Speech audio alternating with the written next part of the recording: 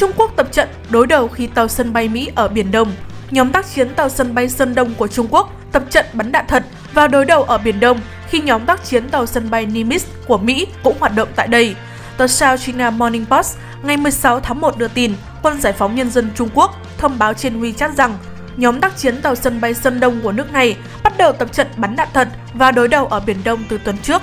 Nhóm này còn có một tàu khu trục tàng hình Tiber 055 và ba tàu khu trục mang tên lửa dẫn đường khác, chở theo hàng chục tiêm kích Z-15. Tàu sân bay Sơn Đông tham gia tập trận đối đầu bắn đạn thật, cất và hạ cánh các máy bay trong đêm, ứng phó khẩn cấp, hoạt động phối hợp giữa các tàu, kiểm soát thiệt hại và các hoạt động khác theo Hải quân Trung Quốc. Hoạt động trên diễn ra trong bối cảnh Hải quân Mỹ thông báo nhóm tác chiến tàu sân bay Nimitz bắt đầu hoạt động ở Biển Đông từ ngày 12 tháng 1. Đây là lần đầu tiên tàu Nimitz hoạt động tại vùng biển này trong đợt điều động năm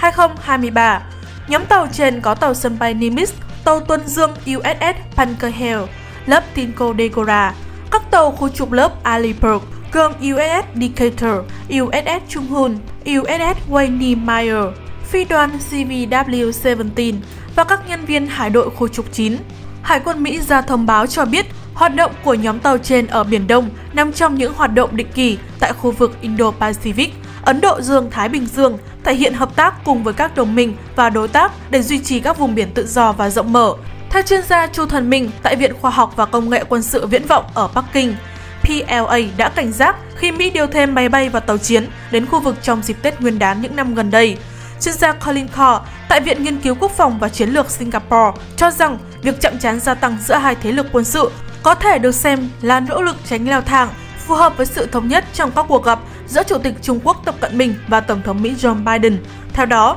những sự chậm chán có thể không giúp cho quân đội của hai nước hiểu nhau thêm, nhưng ít nhất cũng giúp họ hình thành một mô hình, hành vi ăn miếng trả miếng khá dễ đoán về quân sự. Theo ông, khó có khả năng nước nào giảm hoạt động vì điều đó sẽ báo hiệu sự yếu đuối với nhau.